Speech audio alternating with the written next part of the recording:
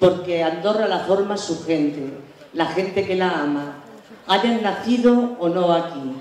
Es una ciudad de mezclas entre pueblos y culturas, abierta y con una calidad de vida extraordinaria.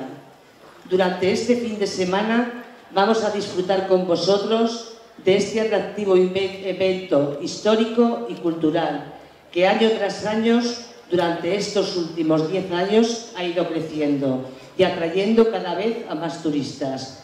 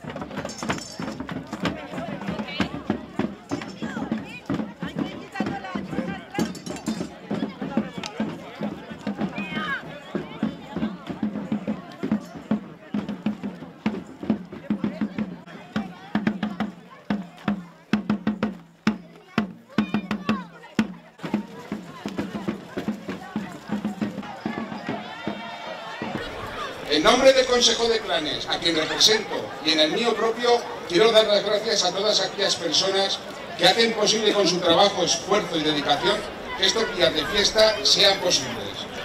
Eh, el Gran Consejo de Clanes os ha dado la bienvenida, esperando que disfrutéis con amigos y familia del gran programa de actos preparado para estos días.